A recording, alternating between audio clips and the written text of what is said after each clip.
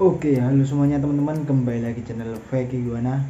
Oke teman-teman, jadi pada video kali ini ya, saya akan menjelaskan ini teman-teman. Ada yang bertanya, ya, bang, iguana itu menggigit enggak? Nah, jadi namanya juga iguana termasuk salah satu hewan teman-teman ya, hewan hewan liar aslinya ya pasti ya meskipun lahir atau menetas di penangkaran seperti ini sifat alaminya itu pasti ada teman-teman. Sifat alam, alaminya itu pasti ada. Mulai dari menggigit ya lalu mengibaskan ekor atau mencut gitu itu pasti ada. Sifat defensifnya ya itu pasti ada teman-teman. Jadi iguana menggigit pasti. Tapi dilihat dulu intens menggigitnya itu banyak atau enggak? Dia jinak atau enggak? Itu teman-teman. Bisa jadi iguana mulai dari baby sampai juvenil jinak tapi pas sudah dewasa jantan ini ya birahi dia menjadi galak dan menggigit. Itu bisa jadi. Itu menandakan sifat alami hewan itu masih ada teman-teman. Meskipun lahir di penangkaran seperti saya jelaskan tadi oke? Kita lihat langsung di ini. Room ya ini lagi bersih-bersih barusan. Oke teman-teman. Jadi saya ambil contoh ya. Ares. Ini habis makan semua. Giliran lampu ada di roket jadi biarkan dia biarkan dia menikmati lampunya teman-teman. Ares. Salah satu eh dulu iguana saya yang jinak teman-teman. Nah, kita taruh sini. Dia lagi ganti kulit ya. Lagi ganti kulit setting ini. Dia pernah galak enggak pernah. Nah, kapan galaknya? Nah itu. Dia galak pas sini teman-teman dia kaget ya. Dia kaget.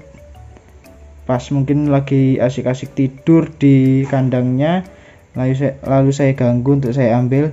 Biasanya itu teman-teman dia kagetnya. Dia nyebet juga. Iya betul dia nyebet. Tapi karakternya bagus seperti ini. Apalagi yang galak pasti gigit. Itu jadi galak atau jinaknya iguana itu pasti gigit teman-teman. Tapi kita nggak tahu kapan dia gigitnya ya. Dulu saya pernah dengan iguana saya. Ya mungkin seukuran ares inilah. Seukuran ares ini saya mainan saya dekatkan hidung saya ya. Maksudnya biar nempel gitu hidungnya dengan hidung saya malah digigit bro. Malah digigit. Malah berdarah. Dan akhirnya pakai hancaplas ya banyak luk lukanya itu ya kecil lah. Cuma baret-baret kecil gitu. Soalnya kan giginya kecil juga kalau ukuran segini. Tapi ya gitu. Namanya tergores ya berdarah di hidung. Ini karakter anteng ya ini cepet ini ganti anunya. Ganti kulitnya. Barusan ganti kulit sekarang ganti kulit lagi.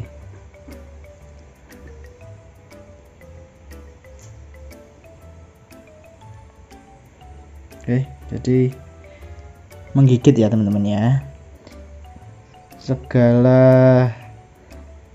jadi yang namanya jinak itu enggak ada teman-teman. Itu pasti yang gigit lah oke ini Ares apalagi roket. Roket itu pasti gigit teman-teman.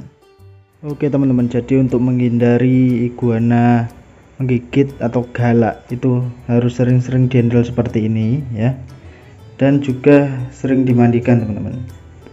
Harus sering-sering dimandikan. Kalau di sini saya menggunakan shower ya. Oke jadi ini sudah nyala. Nah ini cukup di ini. Ini pasti nggak lama akan pup biasanya dia.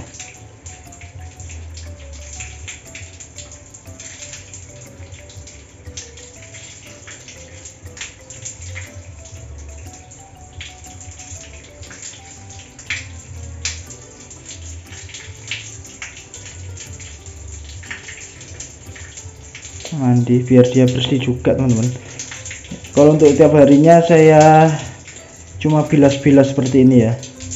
Tapi kalau untuk mingguannya dia saya sabuni juga. Saya rendam dulu sebelumnya.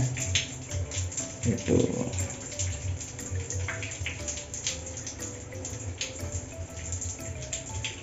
Ini dia habis pup belum makan ya.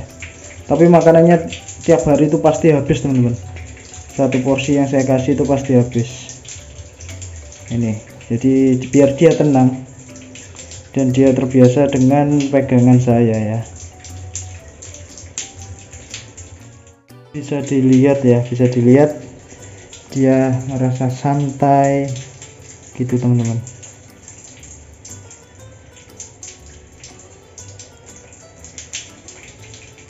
Oh dia jalan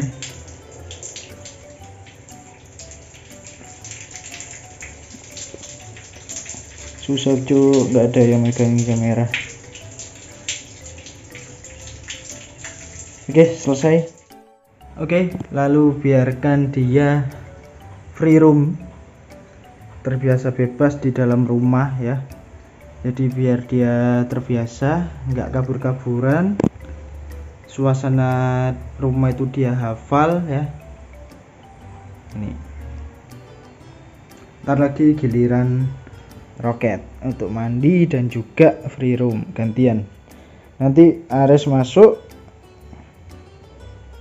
Ares masuk dan lampunya gantian ke Ares.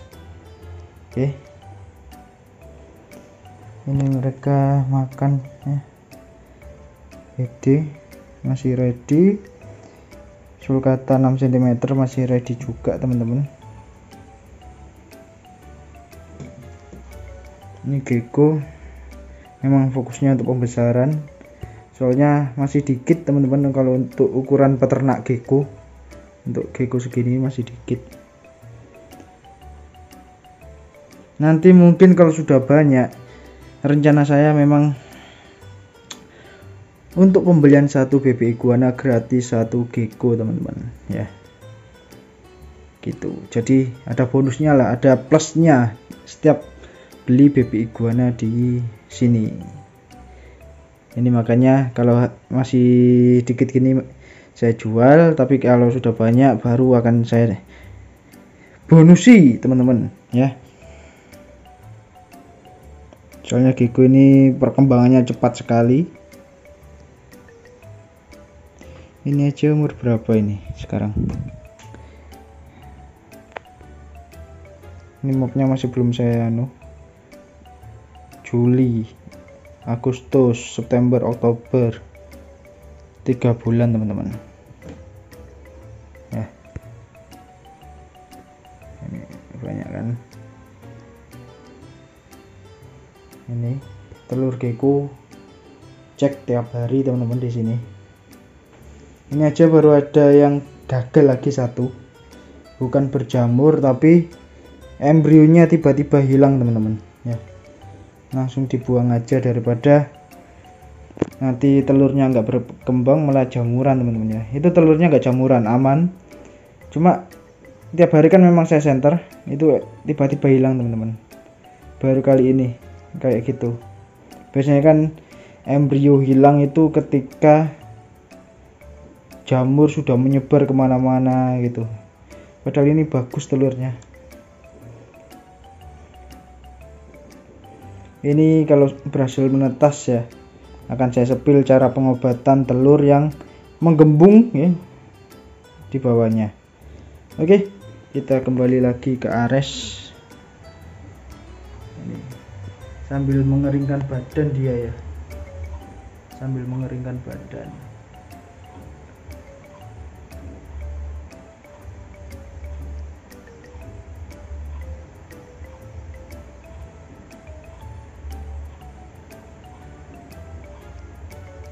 bro Ares.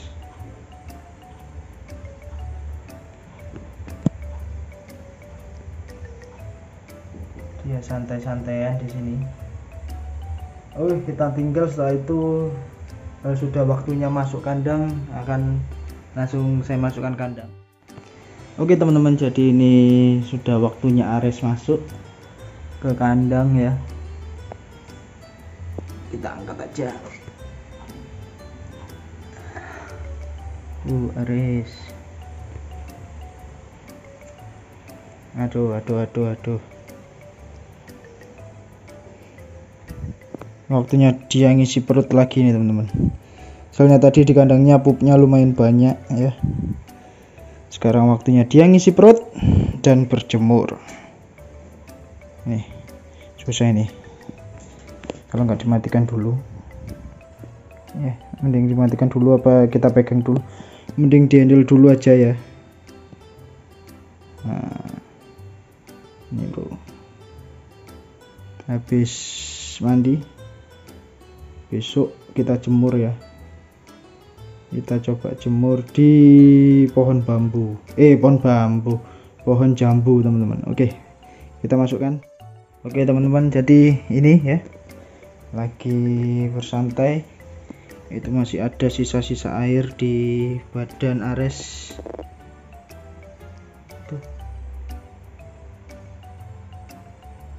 Dia lagi berjemur juga. Ini tadi, tadi dia sempat makan dikit ya. Kalau yang roket itu masih belum masih banyak itu roket. Tapi besok pasti habis teman-teman. Heran. Ini Ares lagi kita shoot dari dalam ya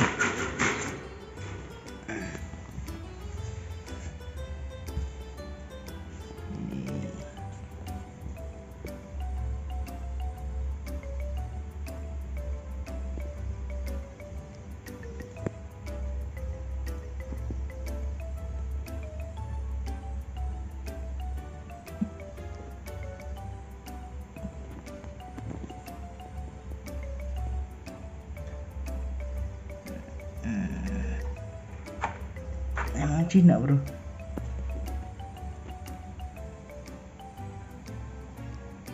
Nah kalau gini kayak cewek ya kayak betina ya Ares ya. Tapi padahal enggak loh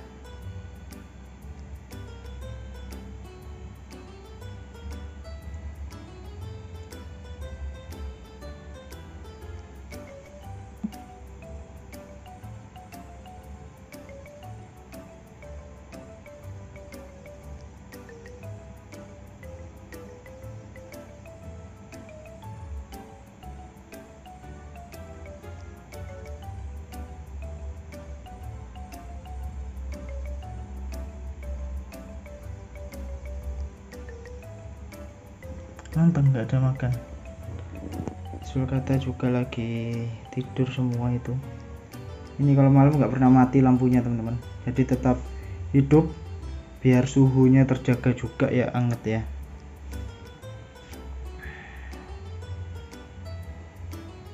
Hitungannya inkubator raksasa lah ini.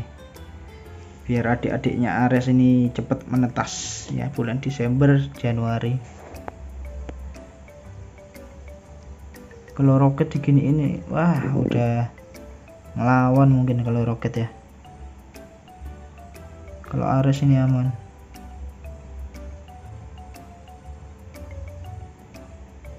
Ini kita pancing-pancing.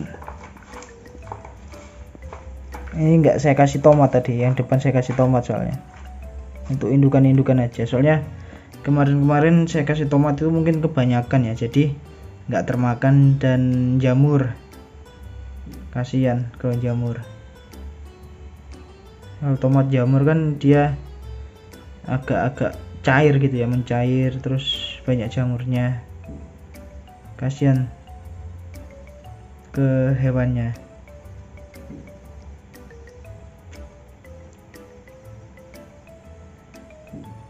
Kita tutup aja ya biar dia istirahat teman-teman teman-teman jadi mungkin cukup sekian dulu vlog saya kali ini tentang iguana itu gigit atau enggak yang ya jelas gigit semua hewan itu gigit ya. Yang nggak gigit mungkin itu bekecot itu nggak gigit teman-teman kalau bekecot ya. Kalau masih punya gigi hewan yang masih punya gigi itu gigit teman-teman dipastikan. Semut aja itu gigit gak punya gigi ya. Punya capit tapi oke terima kasih sudah menonton video ini jangan lupa like comment subscribe agar channel saya bisa terus berkembang agar saya bisa terus berbagi informasi tentang dunia reptil khususnya iguana, leopard gecko, kura-kura sulcata dan bearded dragon. Semoga video ini bermanfaat untuk teman-teman. Cara menghandle iguananya, lalu perawatannya mulai dari dilepasin di rumah dalam rumah free room lalu dimandikan tiap hari biar iguana itu merasa nyaman teman-teman ya. Lalu cukupi kebutuhan pakannya. Biar dia takutnya kalau lapar dia sensi dia marah teman-teman. Oke? Terima kasih sudah menonton. Bye